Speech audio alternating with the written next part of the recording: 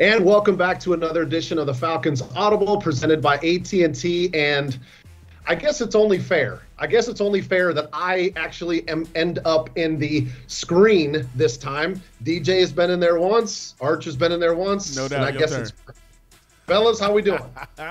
we good, man. I mean, you're out in London living your best life and you know, we're in the studios. I guess we all have had our turn like you said, but uh you know, all is good. I mean, Arch may not be good. His his alma mater is not playing well, so oh, he may okay. be a little salty. Yeah, this after you you guys drilled Missouri. Hey man, so hey, uh, hey, hey.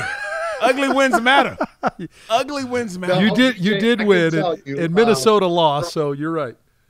I'm the only one with a dub. That's great. Okay, there you go. There's our college English. Our uh, pre-show conversations, I can tell you that Arch is in a very good mood. That's what that's what happens when the Falcons get a victory. Uh, yes, no, uh, I am in London this week. Uh, fortunate to be covering a couple of games here for Westwood One National Radio. Of course, had uh, Minnesota and the Saints this past weekend. Of course, that game was somewhat boring in the first three quarters. Got exciting in the last quarter. A couple of long field goals deciding that game, and then I'm staying out here all week.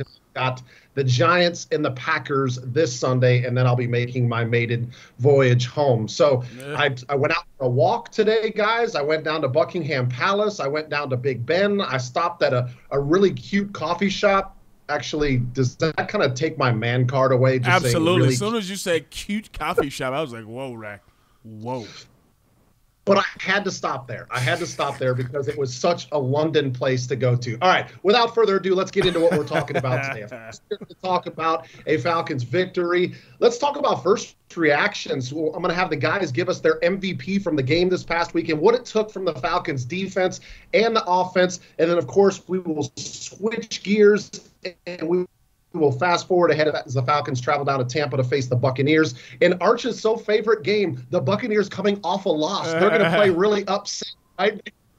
yeah. like yeah. that seems to matter a whole lot. So, yeah. all right, let's let's start it off. Dave, I want you to tell us who is your MVP from the game. There's a number of options. Maybe it's uh, maybe it's somewhat easy. Who's your MVP from the game last Sunday? MVP from the game. Wow, I, I think it's very difficult to to pick a guy. Uh, you know, I, and I kind of was thinking MVP so far for the first quarter of the season, realizing we're playing 17 games. We still can say four, uh, fourth uh, a quarter of the season, right? So CP would be the guy that came to mind for me and the way he's played. Uh, but I would have to say you've got two wins, and I would have to point to the veteran on the defense. I'm going to go Grady Jarrett. You shall not. I love it. I love when Arch pass. If you guys, you guys, you guys don't hear Arch do that. It is awesome. Grady, uh, so Grady gets the two key sacks, obviously in the last two games, late in the football game when you needed him the most. I don't know if you guys noticed, but uh, they kicked Grady outside uh, and and played some five technique this week, and, and coming off and, and kind of playing that edge defender. They're moving him around some, but he got one on one against Bitonio this this weekend. Uh, one of the only times they singled him and he got home and, and got the key sack. So uh, you got two wins under your belt. Grady's played well all year long, and I, and I'm gonna I'm gonna call Grady, you know, maybe my MVP number two for the year. I think he's been pretty good from a leadership standpoint. But last weekend needed a key moment. You needed one of your players to step up, and Grady did that. DJ, I'm going to throw this question to you, but it can be the same thing that Arch did. It could either be from the game or the first call it quarter of the season. You know, when we used to have 16 games and it was season, it was really easy to do first quarter, halfway, third quarter, end of season. So Hard now you got to kind of do 17 a games, yeah. error thing a little bit. DJ, who you got? You know what? I'm gonna jump and I'm gonna do a little bit differently, and I'm gonna jump into the third phase, and I'm gonna go with my man Younghoe. How about Younghoe Koo? and how consistent he's been through these first four games and even in the last ball game. Dude had 11 points in the game versus the Browns. He's got 39 points on the season, and he's averaging 9.8 points a game. So you go into a game knowing, all right, we already got 10 points on the board. That puts you in a good feeling. So I like the consistency of Younghoe Koo. I think we look around the league and you see a lot of kickers struggle. You see when you get inside the 40 yard line, some teams are not really – overly excited to put their field, goal kicker on the on the field, and I think we have no reservations about putting Younghoe Koo on the field and knocking down some big points when we need them, and coming through with a big one in this ball game to to put us up twenty three to twenty. So it was big. Yeah, I think I agree, and you know, it always puts a big smile on my face when you give somebody the nod from the special teams. I was really, I was ah. really waiting for you to look long snapper DJ, but I understand. You got to go with the guy next week, that next ends week, up next week, next week, next week. Um, I'll give you two quick ones. Arch, I'm going to agree with you on CP, Cordarrelle Patterson, for the first quarter of the season. I think he's been a man child, of course. We'll talk about him a little bit later being placed on IR, so some other players are going to have to step up. And speaking of other players stepping up, my MVP for the game is going to be Caleb Huntley. Guys, the game was kind of just like, kind of like a boulder, just slowly moving along, right? And I believe – midway through the quarter third quarter the falcons had about 45 to 50 yards rushing and then all of a sudden they brought huntley on the field gave him the rock a couple of times and the complexion of the game completely changed mm. so i know i'm going to go a little off script here let's talk about offense and arch um, did you see the same thing? It was like the offense couldn't really get things going. And then all of a sudden, Arthur Smith decided to, you know what, we're going to turn around and run the football. And boy, did that ever pay off. They just ended up pounding and give some credit to the offensive line for the holes they were opening up up front. Absolutely, Rack. It's a good point. Uh, also, throw Parker Hesse and Keith Smith and oh, some of those yeah. guys that are those edge blockers in it as well. But uh, and give Mariota some credit. Mariota creates a problem in the run game because of his ability to get out the backside. So some of those creases uh, increase, right? But the ferocity with which Caleb Huntley came in and ran the football, I can tell you exactly when it was 306 third quarter. 306 left in the third quarter. Huntley checked in at the running back spot. We know CP got a little bit nicked in the in the first half, wasn't able to go. Uh, Allgeier carried the bulk of the load through that time, and then all of a sudden here comes Huntley in at 306, and they run the ball 10 consecutive times in the drive, and Huntley finishes it off with that five yard touchdown run. But I thought there was some resolve up front, too. You saw, and I noticed on the sidelines, I don't know if you guys picked it up as well, there was a conversation going on, and somebody got really heated from a coaching standpoint, yelling and screaming at the big guys. And the big guys seemed to respond to that, and they started playing not just on Cleveland side of the line of scrimmage, deep in Cleveland side of the line of scrimmage. That second level defense was getting ripped off or, or knocked off the ball they had had they had a defensive idea that anytime it looked like we were going to go zone read or RPO, they would blitz Koramoah, the linebacker. He mm-hmm. would come mm-hmm. to try to get in, in Mariota's face. Some of it had to do, and it disrupted some of the some of the really the pulls and throws because we didn't have we weren't accounting for Koramoah coming, the linebacker. So give them some credit for their game plan.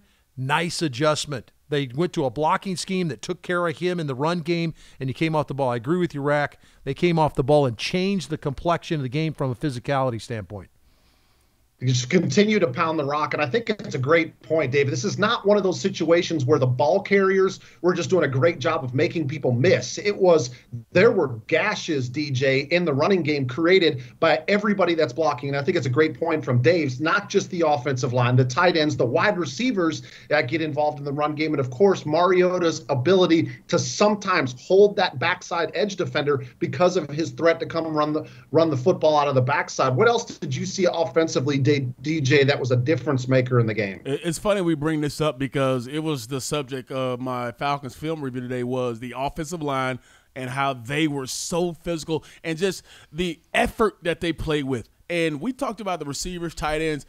I did four plays, and all four plays, you got Olamide Zaccheaus on one play cutting off the backside. You got Drake London 15 yards down the field getting the most dangerous at one time, which is the safety. You got Kyle Pitts getting to the second level blocking uh, a linebacker. It was so many scenarios like that where, and even one, one, there was one Caleb Huntley run that I remember vividly, and Elijah Wilkinson, they're running outside zone to the right – Wilkinson is the backside guard. He runs 15 yards up the field trying to get the safety. He gets his second level defender and he turns and he's looking for another guy. This is the effort that was showed in the run game, and it was four, five, six, seven, eight plays like this. We talk about the 10 plays of running the football.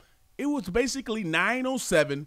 The Browns knew we were running the football and could do nothing about it. The physicality in which you run uh, with those guys, I thought was tremendous. Uh, I thought all those guys really just put their foot in the ground, didn't dance too much, got vertical, got north and south, and they punish guys on the other side. So it was fun to watch those guys, you know, kind of work in conjunction together. And there was a play where Art, you remember this? Avery Williams. Oh, I was hoping you did. You design this play? This is a great call. They run run like a counter. Yeah. And you get Dalman. Dalman pulls around from the center spot, and he has and he has the the, the seal block on the backside end. But the great thing about it was at the point of attack, he was square. And I stopped it right on the video, and he was square. And now you give Avery Williams a two-way go. He can go inside, outside, and this is another play with Drake. He goes down and he gets the safety, and it's now Avery Williams in the corner, 25 yards down the field. It was an unbelievable play, unbelievable job of Avery, of Dalman getting around there and sealing that block, and it, it was tremendous. Everybody was going right, and they come back with the counter. Just a tremendous Oh, play I, call. I'm glad you brought that up, Shock. I knew you were going to get to that play. So that's so cool because it was such a counter, and really it was a counter to what we were doing. We were running outside zone, zone, zone. Yep. And all of a sudden, Dalman, everybody's going right. Dalman pulls back, and, and, and Shock described it perfectly. Gets head up on that defender, that left that defender that's there to take care of Mariota in the boot, right? Mm-hmm. That's why he's back there. Now here comes the center, this big center coming at him, fronts him up, and Avery's out the gate. I'm going to ask you guys this: Have people slept on Tyler Allgeier's acceleration? Oh man. You know what I say, Rack? When he when he says that, I think about the third down and twelve play. Falcons are in the bunch set. You got you, you got Drake and you got Pitts there, and it was a quick read by Mariota. Gets the ball out of his hands and he dumps it to him behind the line of scrimmage, and he picks up maybe what 15 yards. I mean, he literally just cuts through two people and gets a first down. But I think you're right, Arch. I think coming in, everybody looked at him as just a pure bruiser, bruiser back downhill, physical. But he's shown some ability to, to to turn on the wheels and you know kind of run away from people at times too. Yeah, that's exciting. Yeah, I uh, I actually wrote that play down. I always like try to write the, down the key plays in the game, ones that I feel like as I'm watching it live are going to make a difference in the result. And that's one of the one I write. Third and twelve conversion to Allgeier for 20 yards on a screen pass.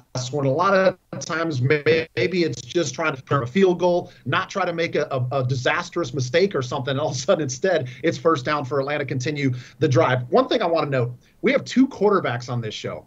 And I don't think I've seen you guys ever so excited as you were talking about the one game, right? You guys are supposed to be talking about airing it out, so it's just it's just miraculous that Well, you well, guys right, just got right. At the end of the day, at the end of the day, we understand if the run game's going, we're gonna be able to throw the rock. So we want that to be successful too.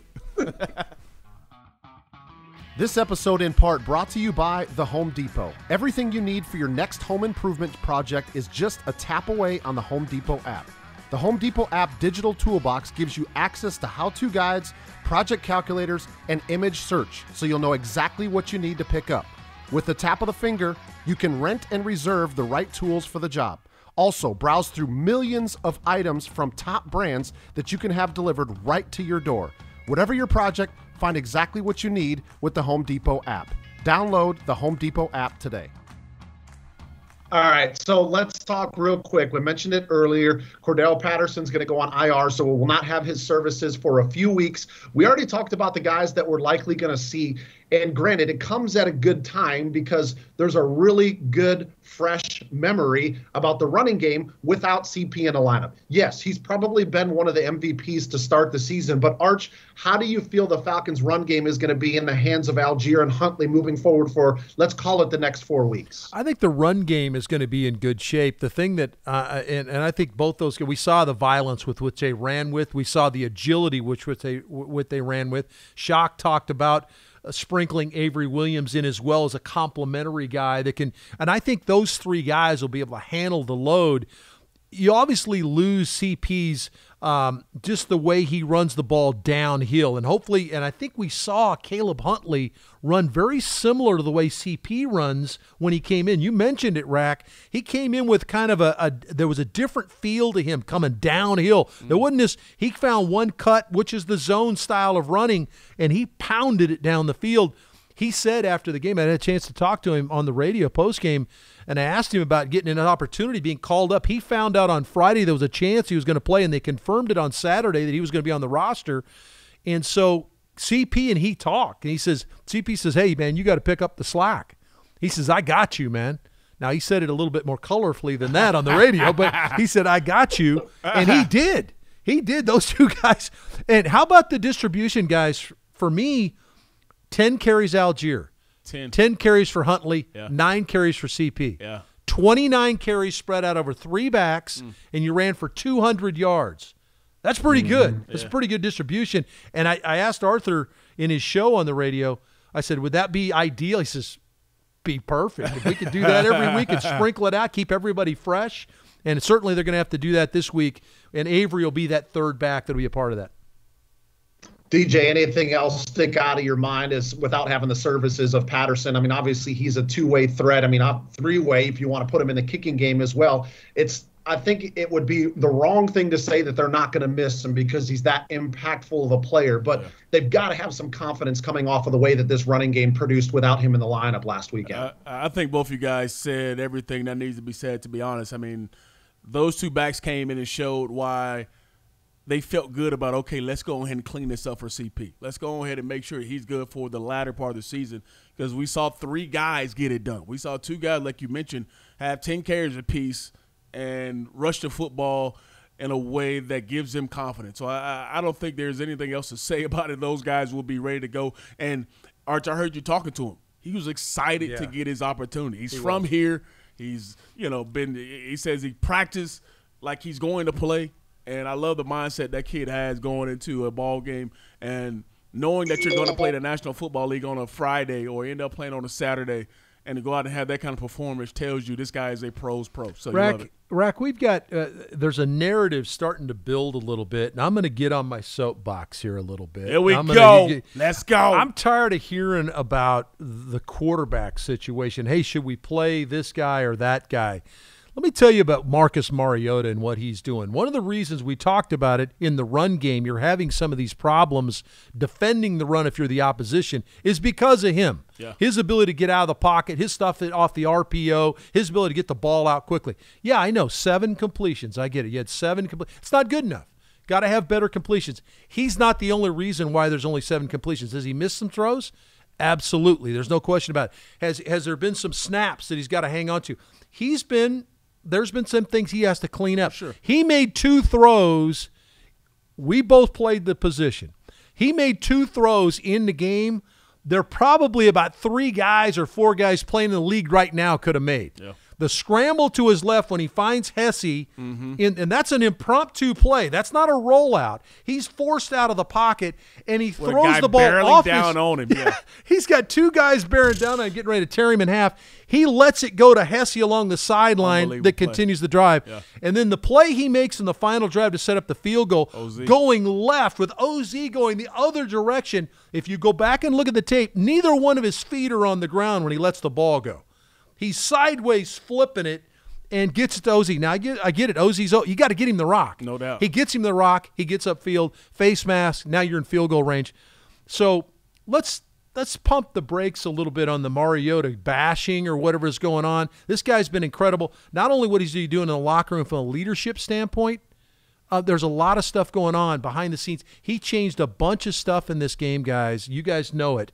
He changed a bunch of things in the game from a protection standpoint, run game standpoint. A lot of times when you come up in the run game, there's a check with me. You know that, Shock. Kill it one side, flip it the other side, opposite, opposite, whatever you're going to do. Mm-hmm. He's doing that at the line of scrimmage. Mm-hmm.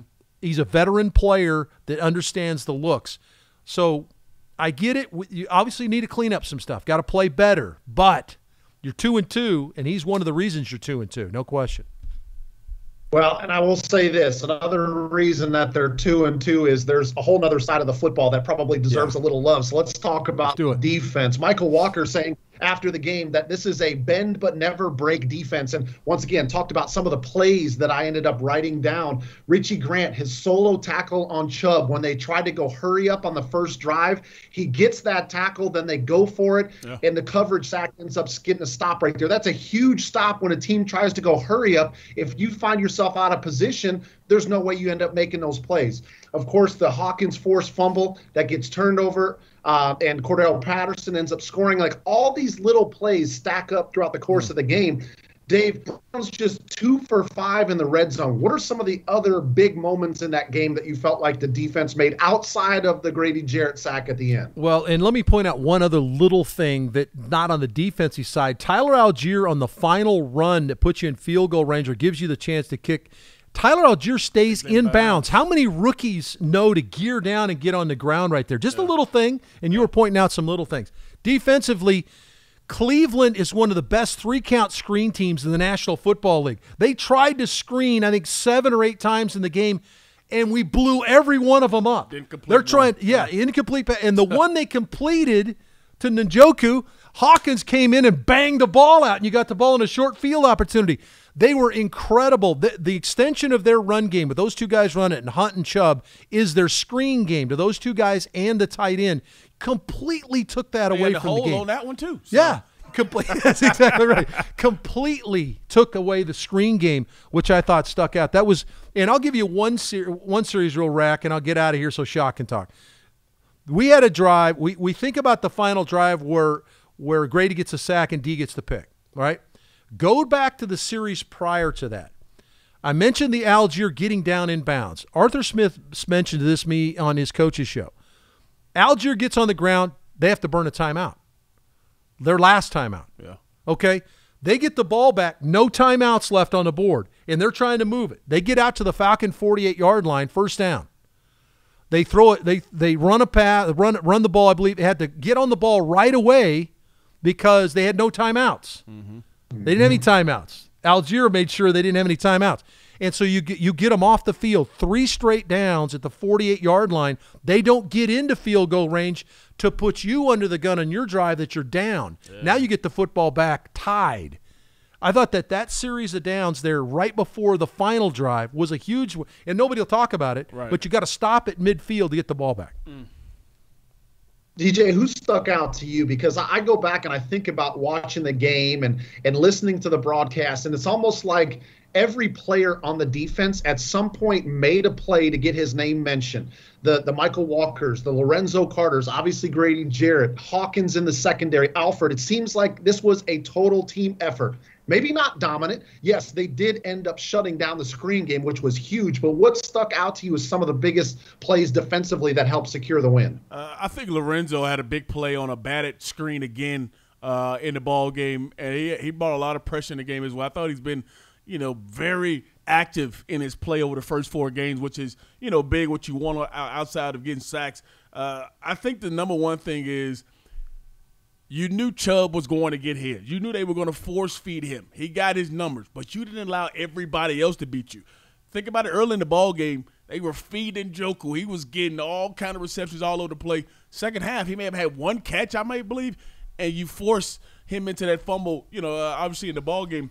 But I thought the red zone defense. I thought your ability to take away all their other guys. You hmm. knew Chubb was going to get it, but you didn't allow Kareem Hunt to go out here and rush for 100 yards or catch another 75 yards in the pass game. But I thought biggest things was, hey, we talked about it, forcing that forcing that turnover on downs. Then they had another time inside the red zone, and I mean within the five, and you force a field goal. Bend but not break was absolutely what this defense was about, and gave the Falcons a chance to to really stay in this ball game and put the pressure on them late in the game. But I thought not allowing your other guys on their side to win in this game because you always say, hey, they always got a star. They're gonna make plays. They're an NFL team, but you don't allow two, three, four of the guys to have a big game to contribute to the one that's already going. By the way, AJ Terrell put uh, a guy named Amari Cooper in witness protection. I think. I think he had. What do you have? One grab in the Yeah. game. I didn't even. I don't think I ever mentioned his name Yeah. on the radio. Now, is the superlatives are throwing out rightly so, guys. But there are things to fix. We talked a little bit about the offense. Defensively, you got to tackle better. Oh yeah. They they did not tackle overly well in this game. There were a number of plays they were in position to make plays, and it ended up being five or six more yards, which allowed Cleveland to convert. No question about that. So I think, and, and then that the pin and pull, you're going to see that now. Yeah. You're going to see counter tray or pin and pull rack where they're going to pin down and they're going to pull those two guys around. Cleveland had tremendous amount of success. Now it's a bread and butter play for them. A lot of teams can't run that. I don't know if Tampa can duplicate that, but we know it's a copycat league. You're going to see it unless you can stop it. So there are some things to fix. It's not perfect, but they're playing four quarters and they're finding a way to win games. All right, well, let, let's talk a little bit about that, Dave, because you mentioned we, we faced a team in Cleveland last weekend that wanted to pound the rock and arguably one of the top running backs in the league in Nick Chubb, and things are going to change this week. All right, you got Leonard Fournette, who is basically taking the lion's share of the snaps in the backfield for the Tampa Bay Buccaneers, but now they're going to go up against the GOAT, arguably one of the best passers in the history of the National Football League, with a guy named Mike Evans that knows how to go up and catch the ball. Now, you look at Tampa Bay, guys, and it's almost like the tale of two seasons. I call it um, before Sunday Night Football against Kansas City, and then the game against Kansas City because the Chiefs just dominated them by running the football and basically doing whatever they wanted, forcing Tom Brady to basically throw the entire game through the air. So, Dave, what are the Falcons going to face this weekend, and some of the things that need to get cleaned up that could get exposed against the Buccaneers? Yeah, number one is going to be the tackling. You're going to have to tackle in space because they're going to get Fournette the football in a lot of different ways. They're throwing it to him, they're handing it to him. Uh, they saw what Chubb had some success in that you're going to probably get an opportunity to, to stop the pin and pull and try to get get him on the ground there. The short passing attack is a big deal. Brady gets the ball out pretty quickly unless he's going to hold it to throw the ball down the field to Evans. That's a tough matchup for AJ Terrell. On the other side, they got run on. You mentioned it, Rack.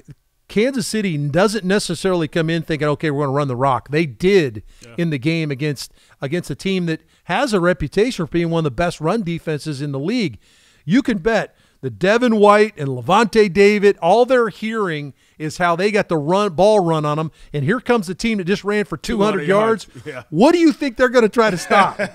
they're going to gang up on the run. So uh, to me, that really gives you an opportunity. They're willing to play some man coverage in the secondary. And frankly, I don't think they're good enough to do that. So I think you're going to get some opportunities. Got to be willing to take those shots with Pitts and London and some of OZ Get one on one against some of those guys down the field and DJ Falcons will get a chance to face a couple of former Falcons. Of course, Julio Jones, Russell, Russell Gage, both down in Tampa. Both guys have been a little bit dinged up and, and haven't necessarily had great seasons yet. But what sticks out to you about this Tampa matchup for Atlanta to be able to continue some of this momentum that they developed last weekend? You bring up two guys who's, who are former players. So Gage right now is the most targeted guy – for Tom Brady right now. I know they have a couple guys out, and you know Gage's been in and out, but he's the most targeted guy for him. So you know he has a familiarity already with Russell Gage, so you got to make sure that you know where Gage is. But I, I, think the number one thing coming to this game versus Tampa on the road is kind of similar to what you've already done. It's not a a, a different sauce you got to come into this ball game with because you've done all the things to keep you in these ball games and win the last two. But one thing that sticks out to me is you had one penalty versus the Browns. One penalty. That one nice. penalty came versus, versus Drake London when he was, you know, trying to fight a guy off and got the face mask off. You have to be disciplined versus a team like this. And then defensively, I think it's what you've done, which is you've gotten the football away in four consecutive games. You forced them to turn the football over. And if you could do that, take some possessions away from them and then turn it over to your offense where your offense versus in all four games have moved the football without a problem – I don't expect it to be a problem this week as well. So uh, I think continue to be disciplined on the road is always a big factor, and win that turnover margin is always huge. And you can say that probably in every ball game. Yeah, I'm glad that you mentioned the penalty DJ, because that was one of the. I'll show you guys real quick. Here, here's my sheet of notes that I wrote down with all the stuff from the, the Falcons game. How do you read it? One of them I have on the right, just one penalty for 15 yards. And you're right. I mean, I feel like there's some areas that they're going to have to make sure that they end up performing really well in. No penalties, convert in the red zone, no turnovers, keep stealing the football away on defense and special teams, and they'll definitely have a chance in this game. So, Arch, DJ, how are we feeling, guys? Like, I, I love the energy today. I love yeah. the excitement, the enthusiasm that you guys brought. When's will bring will bring that to you? It's a fun. Hey, you're on top of the division, guys. Who? Give me someone out there that's a supposed quote unquote expert that had Atlanta tied with Tampa yeah. for the division lead None. after four weeks. None. Zero. Nobody. So go back home. Stay back. Okay. Don't jump now, on that, baby. by the way, rivalry weekend this weekend for Shock and I, Farmageddon. Uh, K State coming to Iowa State. Big one. Big one. The oldest Deep South rivalry, Auburn, Georgia. Is Minnesota playing for like a sow's ear or a, or a cow's bell or something this week? Who's Minnesota playing? Some animal most likely will be on the line for whoever Minnesota plays this week. And honestly, I don't know. I'm in London. I haven't checked it out. hey, guys uh, that's going to uh, wrap it up for us this week. I appreciate you guys bearing with me here in London. Uh, I am not going to go get fish and chips. I might go find some tea and crumpets or something like that. Go back to the Um, cute but, coffee uh, place. That's what that's what it sounds like. Put your pinky up and all. Might- on. I'm not going to do my UK accent because I'm absolutely going to blow it. Um, anyway, that's going to here uh, for the Falcons Audible presented by AT&T. Thanks so much for joining us, everybody. Hopefully, we're back with the same energy, same enthusiasm next week after a Falcons victory. That'll do it for us. Thank you for watching on all the different avenues that you check out your podcast. Don't forget like, subscribe, review, and continue to check us out here on the Falcons Audible presented by AT&T. Thanks, everyone. How about Captain Rackley? He's international, baby. Go baby.